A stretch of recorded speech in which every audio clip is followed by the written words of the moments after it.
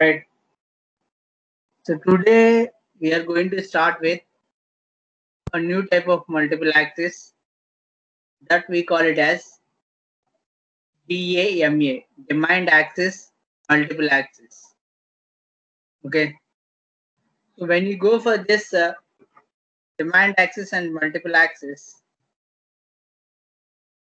you can clearly indicate here that in the previous multiple access, you have studied about frequency, time division, and uh, satellite switched time division, and onboard processing time division.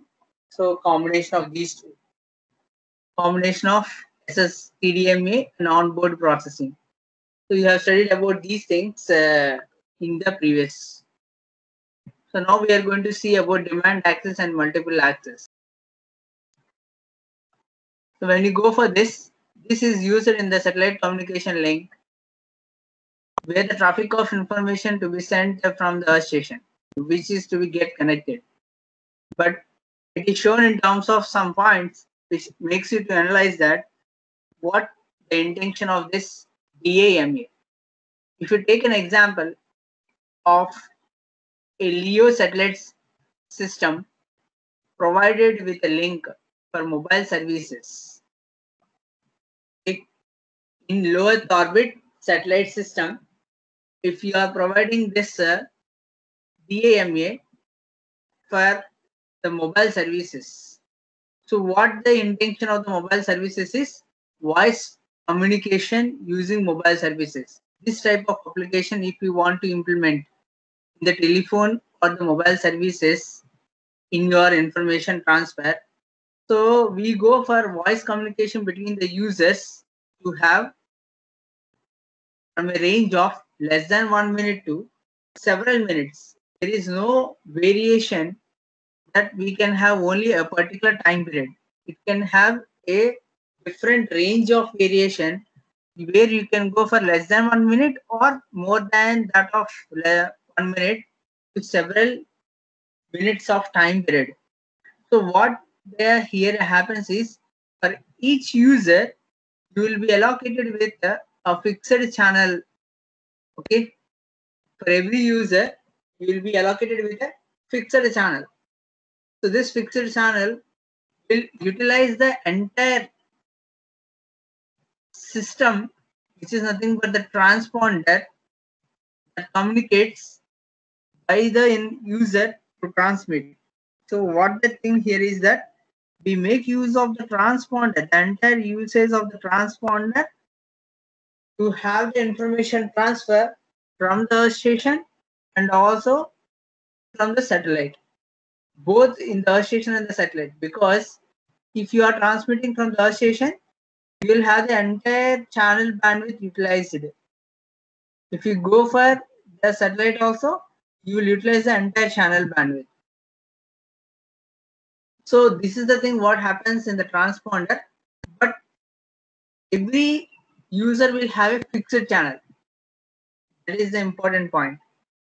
And the most important information is that we go for two-way communication, that is duplex communication. No, so we use a, a particular multiple access technique that is either TDMA or FDMA or combination of both TDMA and FDMA.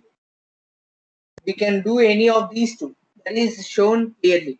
Okay, we can come over with TDMA, FDMA, or combination of these two. That is what you are having.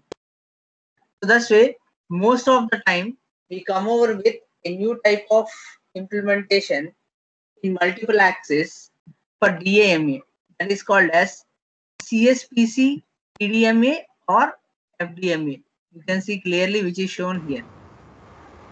SCPC, TDMA and SCPC, FDMA. What is SCPC? You can see with the seventh point that is shown clearly. Single channel per carrier with FDMA or TDMA. What this indicates is we will allocate the channel, a single channel with a high frequency carrier with a multiple access technique where the signal gets amplified and that is transmitted from the earth station. In the same way, you will have SCPC in the satellite also. This single channel per carrier is nothing but there also it will have the carrier high frequency signal that will get multiplied with your information and it will get amplified and that signal is retransmitted to the earth station. So this is the thing what happens in DAMA. So as the user is been allocated with a single channel now, so the entire channel bandwidth is utilized only by the particular user. As there is a change in most variation in the technologies, low cost and high integrated controllers with the frequency synthesizers have come into picture in real-time application. So that's why most of the time we are using these uh, nowadays with low cost value and highly integrated controllers. So when you go for any communication between any two devices, we have major differences in this one because we are saying DAMA for an application of mobile services. So mobile services are nothing but the signals are to be transmitted between the mobile in terms of BTS, base transceiver stations. You will be studying in your CMC, where we are communicating the mobile with BTS and we make the necessary information to transfer to the BTS and from there it goes to the next section of MSC, mobile switching centers and from there it moves to the region where it has to transmit and the necessary thing of process takes place. So that's way that is different from the satellite system because in the satellite system we can't communicate with the stations directly. We can't communicate with the stations directly. We it takes place uh, to communicate with a particular station with the help of a earth station which is acting as control switch operation. We'll have a control switch operation earth station which is called as a hub. So this earth station will look after which satellite has to communicate to which earth station and what is the data transfer or receive has to take place. So that's why the switching operation of the earth station takes place, which is acting to connect the satellite with the remaining earth stations. So that switching operation of earth station is called as hub here. So this is the thing what happens in your DAMA. So when the information that you want to transmit from the satellite to the earth station, okay, somehow we will have the channel information transfer from the satellite to the earth station in terms of packets.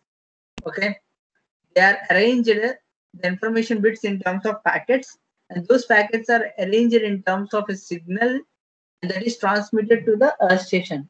So these packets will consist of internally, right, SC, PC, FDMA.